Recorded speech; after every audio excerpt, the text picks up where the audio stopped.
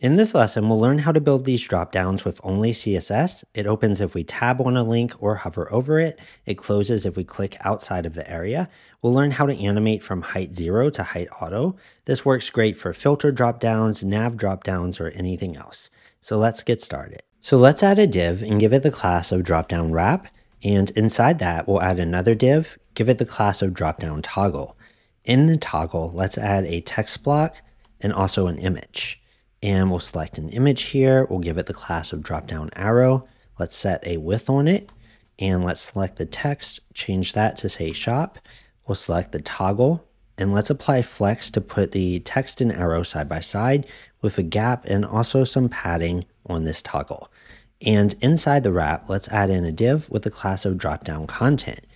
And in that content, let's add a div with the class of drop down height. We want to animate this height from zero to auto, and to do that, we can use the grid trick. So we can apply grid, set one column, one row, we'll remove the gap here, and we'll configure this grid so that the columns have a min of zero pixels, so the children inside don't overflow out of this column, and we'll set the rows to a height of zero FR.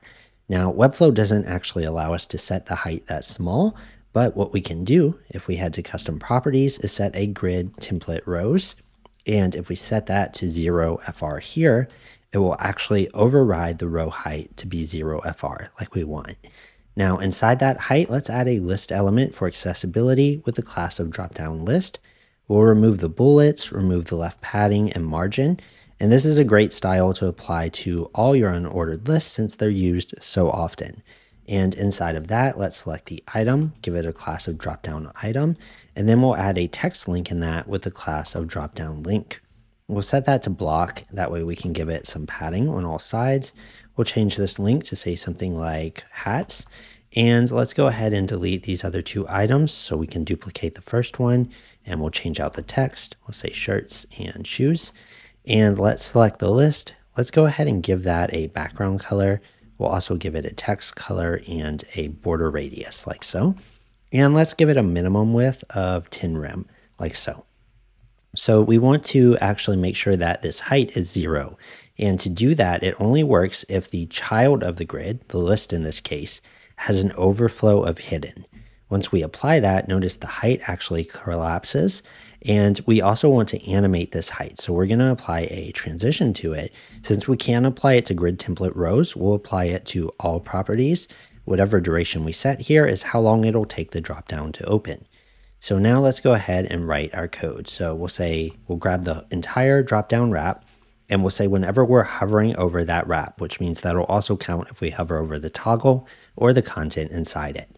Then we're going to go ahead and find the dropdown height div that's inside of the wrap and we'll set it to a grid. Uh, we'll say grid template rows like so, and we'll set that to 1 FR. So it just becomes auto height. And if we save that, whenever we hover, it just animates that height smoothly. Now, let's say we have two of these and they're stacked maybe under each other. What we'll notice is it's actually pushing the one below down. And sometimes we may want that. It's increasing the height of the entire wrap in this case, but other times we might not. So if we want to remove that, we can set the content to position relative and we can set the height div to position absolute to the top left of its parent, which is this zero pixel height div.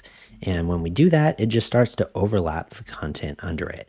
Let's set these back to side by side and that puts them closer together too. We can increase this gap a little if we want. Now, one thing we might want to do is make sure that whenever we're focused, within this, uh, maybe on one of the links, we want to make sure we open this dropdown whenever we're focused on a child. So to do that, we can basically copy this whole selector here and we'll paste it above, add a comma, and we'll say dropdown wrap colon focus within. So that means if any of the children inside this dropdown wrap are focused, we'll find the height div that's inside of this wrap and set it to full height.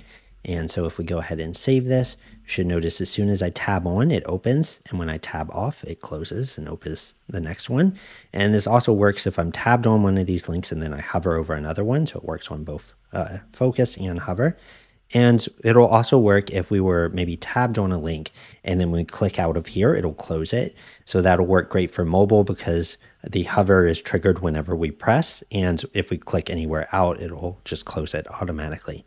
So let's also go ahead and make sure that we want to animate the arrow inside. Let's select the arrow. Let's apply a transition to transform. And we can copy this class. And we'll basically say drop down wrap like so. And we say whenever we are focused within that drop down wrap, we want to find the drop down arrow inside and we want to set that to a transform of rotate and we'll do negative 180 degrees. And let's also just copy this because we need to account for the hover as well. So we'll say whenever we hover over this parent, rotate the arrow too.